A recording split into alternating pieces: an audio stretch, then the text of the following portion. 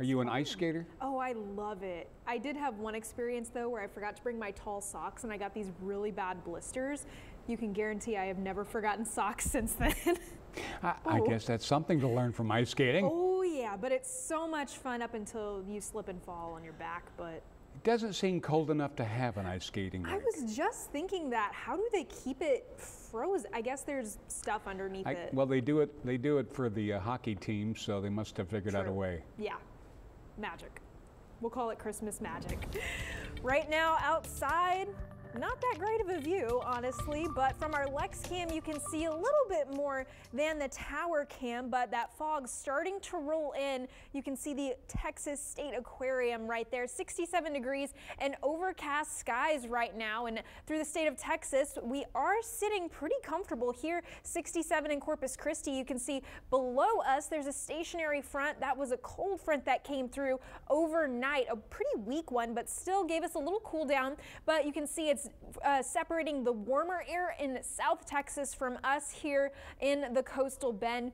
This evening, we are going to stay a little bit warmer than we were yesterday evening and this morning. So temperatures are going to go into the mid 60s instead of the upper 50s. We've got that stationary front and that's going to lift northward as this warm front right here. So that's going to change our winds to a southerly direction. And that's going to bring in lots of moisture off the Gulf of Mexico and give us some warmer temperatures, not only in the morning, but tomorrow afternoon as well. Temperatures are going to get up into the upper 70s, even near or reaching 80 in some places. It'll be a little breezy as well. I think we're going to stay mostly overcast through the day, but into the afternoon, we could see some of those clouds starting to break and get just a couple peaks of sunshine, and that may help boost our temperatures up even a little bit more.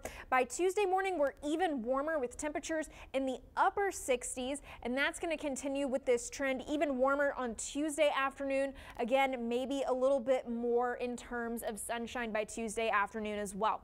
Another thing that moisture is going to do overnight with the light southerly winds is it's going to let us get some fog. We've already got some out there like you saw in the tower cam and Lex cam just a couple minutes ago. That's going to start uh, as soon as uh, now and through midnight, even through tomorrow morning when you're on your way to work. We still have some of that fog hanging around in areas around the coastal bend, but that mostly moves to just the coastline by tomorrow around lunchtime.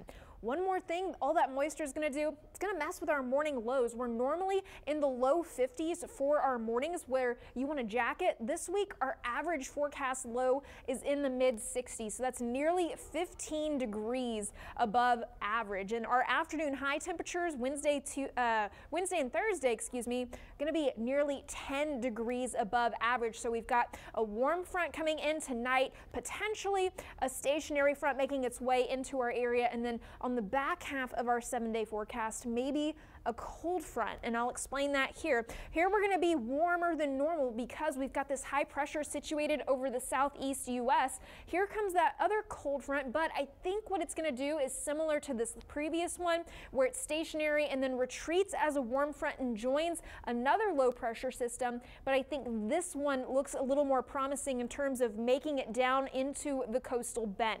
So we're going to see these above normal temperatures for the next six to 10 days. This is the six to 10 day temperature outlook and pushing it to the 8 to 14 day after that second cold front would come through. You can see the probability of being above normal is much lower. So I think that one looks a little bit more promising. Tonight, that warm front comes in 64 for our low in Corpus Christi, foggy. Tomorrow afternoon, temperatures near 80 with a breezy south wind. The wind picks up and it stays here along with the clouds, afternoon sunshine, and warm temperatures this week. Welcome to South Texas winter, Brian. Thanks.